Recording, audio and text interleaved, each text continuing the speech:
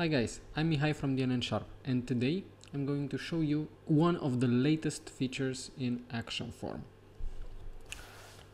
You've probably seen on all the websites out there a map with the location of the business.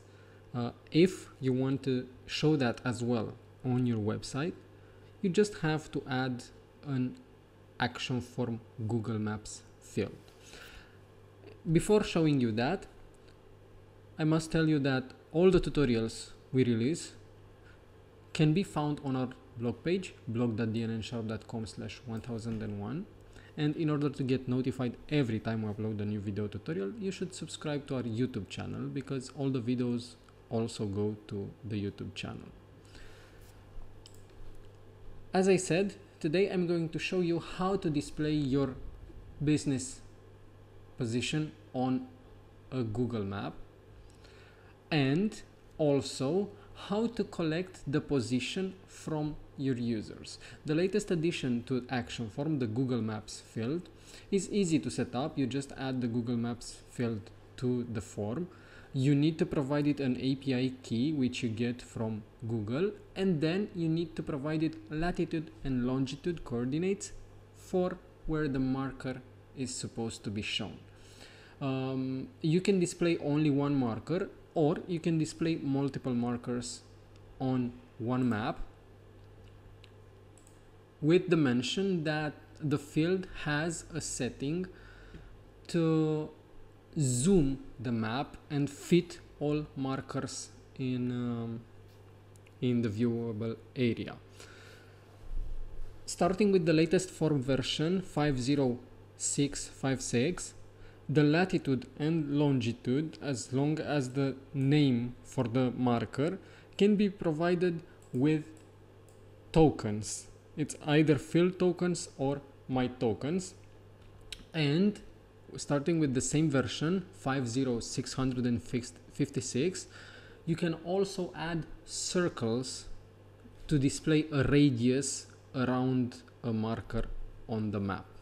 So here I've displayed the DNN Sharp uh, office building location at latitude 1 and longitude 1 token and also displayed a circle at the same coordinates with a 500 meters radius.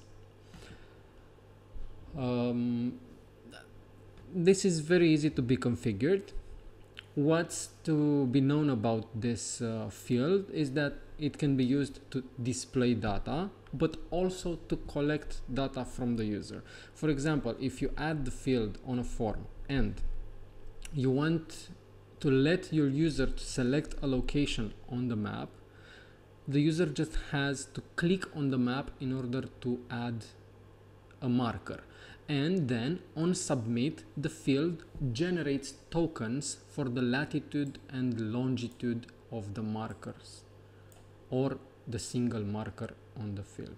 Field name colon lat and field name colon long generate the latitude and longitude for one marker or you can get the field name colon markers which is basically a JSON array of all the markers contained on the map. I'm going to show you this functionality right now by just adding a simple button on my form and on this button I'm gonna use a display message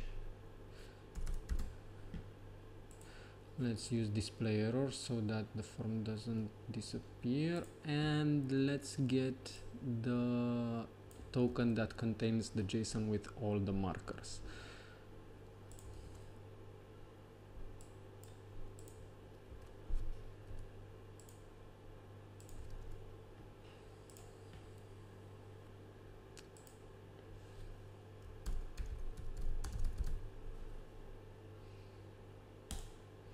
I'm going to save I'm gonna refresh my uh, form.